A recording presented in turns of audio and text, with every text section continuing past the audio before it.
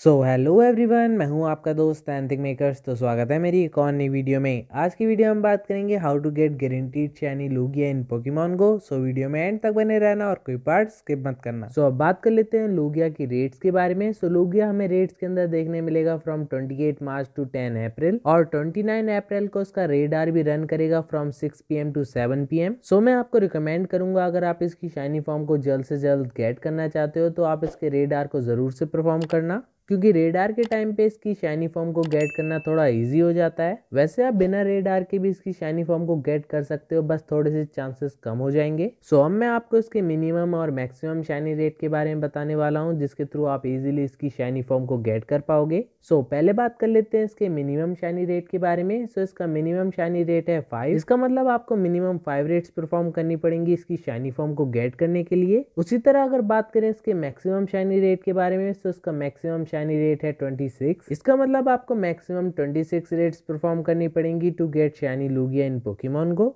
वैसे तो इतनी रेट्स परफॉर्म करने के बाद आपको शाइनी लूगिया इजीली मिल जाएगा। अगर नहीं मिलता है तो आप ये थोड़ी सी टिप्स को फॉलो कर लेना, आपको शाइनी लूगिया गारंटेड मिल जाएगा। जैसे अपने फ्रेंड के साथ रेट को परफॉर्म करना रेड आर के टाइम पे रेट्स को परफॉर्म करना और इसके मैक्सिमम और मिनिमम शाइनी रेट को ध्यान में रखना। और ये मेरा one of the favourite shiny legendary Pokemon भी है। आपका है या नहीं, मुझे नीचे कमेंट सेक्शन में ज़रूर बताना। और आज की वीडियो में बस इतना ही। अगर वीडियो इन्फॉर्मेटिव लगी हो तो प्लीज़ चैनल को सब्सक्राइब करके वीडियो को लाइक करना मत भूलना। अब मिलते हैं अपनी ऐसी किसी वीडियो में तब तक के लिए see you tata bye bye